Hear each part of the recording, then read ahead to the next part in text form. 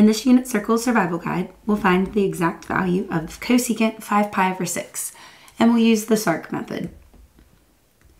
So here's the outline. SARC is just a nice acronym to keep all of your information organized. So the S stands for sketch the angle. The A helps you remember ASTC, which will help you know which trig function is positive in each quadrant, and then you can decide should your answer be positive or negative. And that's just a nice thing to do up front, then you don't have to worry about negative signs anywhere else um, in your analysis. The R stands for reference triangles, so you'll find the reference angle, the triangle that goes with that, and the coordinates so that you can do the final step. The C stands for calculate. You'll calculate your trig ratio. So we'll do this for cosecant of 5 pi over 6. So to start, S, we will sketch our angle. Look at our angle, see it's positive, so we know we're rotating counterclockwise. And 5 pi over 6 is less than one rotation. So I like to start, here's 0, here's pi. Rewrite pi so that it has a common denominator. So it's 6 pi over 6.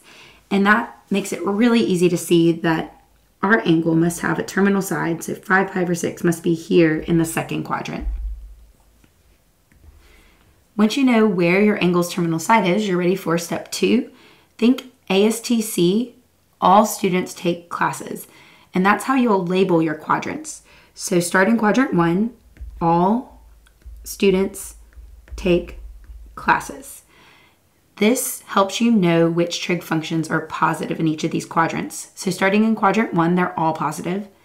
In quadrant two, only sine and its reciprocal cosecant are positive. All the rest are negative. So since that's where what where our angle is, let's go ahead and make a note. Okay, we're trying to find cosecant. It's positive here. We've got that note, and we don't have to worry about signs for the rest of our analysis. If you had an angle that fell in quadrant three, tangent and cotangent are the positive ones. And in quadrant four, it's cosine and secant. Now we're ready for step three. Let's find our reference angle. And a reference angle is simply the amount of rotation from your angle's terminal side to the x-axis. So that's right here. So we know to get from 5 pi over 6 to 6 pi over 6, it must be a reference angle of pi over 6.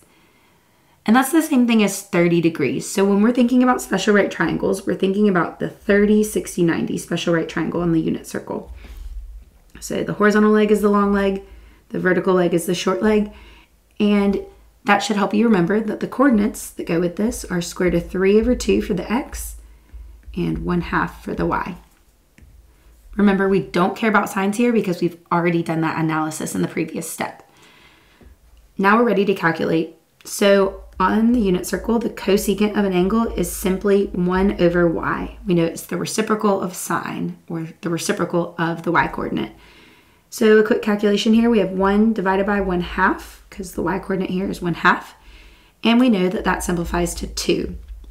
Taking the positive sign we found in step 2, we know that the cosecant of 5 pi over 6 must be positive 2. And that's all there is to it. Um, I'll post some links in the video description uh, for more worked examples of exact values. I'll also post a link for Unit Circle Basics if you need help with any of the individual steps. Um, there are lots of videos that I have to explain each of those concepts individually, so check those out if you need help.